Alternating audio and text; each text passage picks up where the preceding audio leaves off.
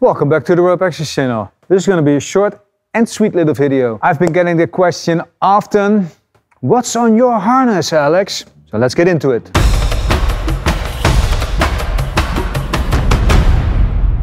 So let me be clear about this. This is really unprepared. I just thought while I was arriving, hey, the question I get often is, what do you have on your harness? So let me show you my main bag, my go-to bag with everything in it, but it switches around a little bit. What I put on my harness. My harness is in it. So let's get it. As you can see, not very well prepared. Let me get the stuff out first. This would be the main bag. Let's open it up.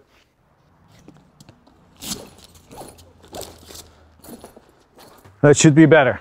All right, CMC Atom harness. Been trying it out. Uh, Rado from Rescue in the Netherlands, he lent it to me to try out and give my opinion on it. So far, I like it a lot. It's a bit heavy, but it's very comfortable. So what's on it? it is my backup and ASAP, of course. Let's see, what else do we have? I've got uh, just one knotted cowtail and one not a knotted cowtail, but there's a progress adjust on it. So other side, So my right hand side, I usually carry my descenders. Oh, I broke my own rule. I must have wanted to get home quickly. I always close them. At least that's what I tell myself. That's what I don't like about the new rigs, by the way, is that the, with the handle that closes, it always gets into the carabiner, hard to undo. So I've got two rigs on here right now.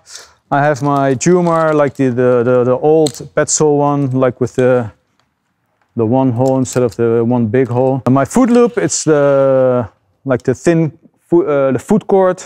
I've got a, I think this is a 4KN or 6KN beaner on it so I can take it on and off quickly. So that's one side. I have the ASAP as a backup right now. Oh, the good thing about this harness is actually that you can really easily replace the chest ascender to whatever model you want. This is the one that came with it. It's uh, from Climbing Technologies. Nothing, nothing special. I haven't used it that often yet because I only got this harness for a short while ago and on most jobs I have to use the company provided. And then you have to have the jobs where you need to actually use your chest ascender because that doesn't happen that often anymore because we all use the winches these days. But I'm thinking about changing it out for the, I will show you in a minute, the turbo chest from Camp. Whew, dig deep. All right, so we have the descenders on one side and usually I only have the newer model. So this is usually in there. And on the other side, where is it? What else do we have here? This is basically the setup I had on my last job, but it changes around what I said. So I don't always have a positioning lanyard right now. I'm using this uh, little setup. I'll get into that a little in a later video about the use of grillons and adjustable lanyards and all that stuff. Uh, this is the safeguard from Madrock I'm using as a that's the positioning device. I like it a lot. Other things, a little snapper on there. I always have my little uh, foot ascender. It's good when I need to lift stuff.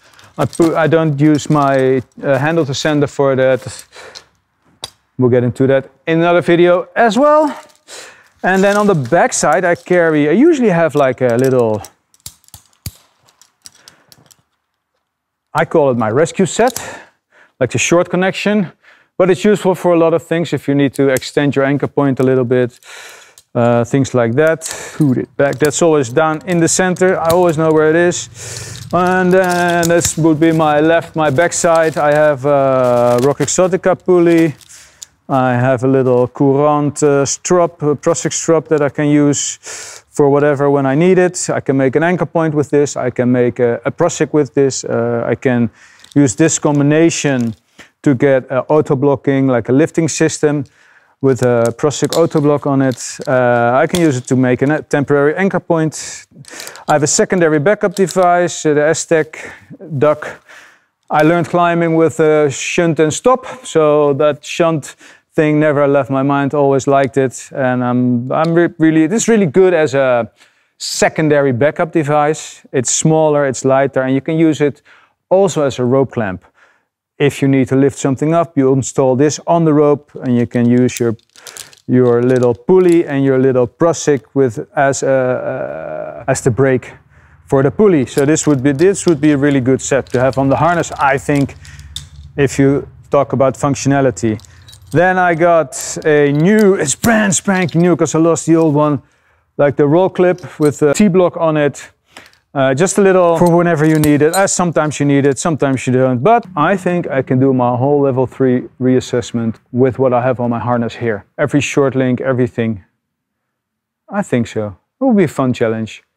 With what, that's the question for you guys. With what I showed you on the harness up till now. I'm not talking about rigging materials, but with all the climbing moves, and maybe I need a rope to lower off someone, but I can do anything. I can do breaking into a tight line. I can do anything with this. So you figure out an exercise that you want me to do with what I have here on the harness, and I'll make a video on it. That's cool. So that's what I have on my harness right now. And before we get into the bag, give the video a thumbs up.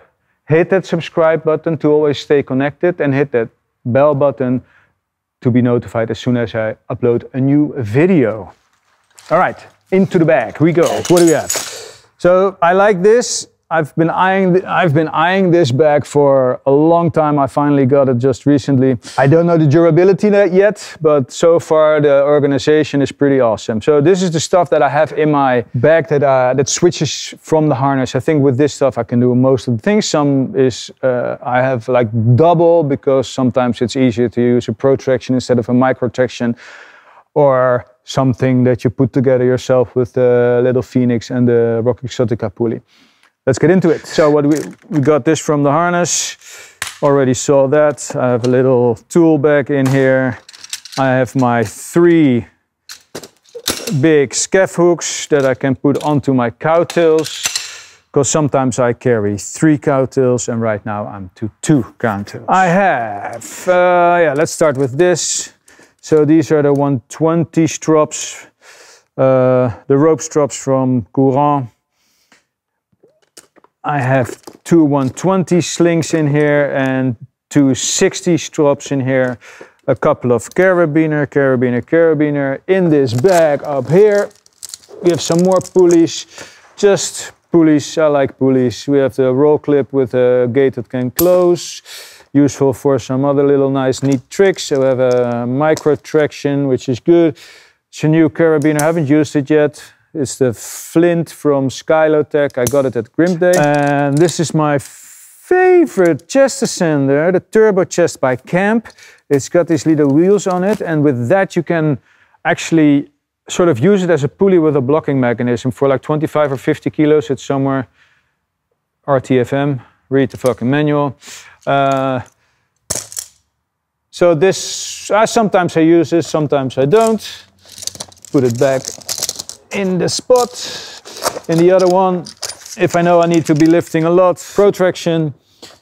This I use sometimes double rope pulley, double systems. I have a little rigging plate in there. Two, actually two headlights right now. One with a clamp for on the helmet and one with a strap. Uh, one of those little secret tricks. Skyhook beautiful positioning. Let's put this back, let's put this back. Any extra stuff, if I know, know I need to be lowering a lot, I will use the Freino by Petzl, Beener, Beener, Beener. What else do we have? Lanyard, uh, like two lanyards. Elastic, I like these a lot. I've had them for a long, long time. They last forever. Then in this pocket I have an extra foot loop, like the Etrier, the Petzl one, the little ladder. I have one more of the Phoenix drops in there. And then in here, used to be one of my favorite. I've used it a lot in the past to rig little things like single deviations to position yourself a little bit, to attach tools to to lift stuff into place, like heavy objects, like if you, you're, you're placing dishes in antenna towers or bigger steel construction, like 50 to 100 kilos, you can use it, make a quick four to one and put them in position. You can use it, try, tie a Prusik on a lifting rope just to have something that stops the load from going back down when you're lifting it up in the pulley. The same what I'm doing with the Phoenix right now. So the Phoenix replaced it a little bit.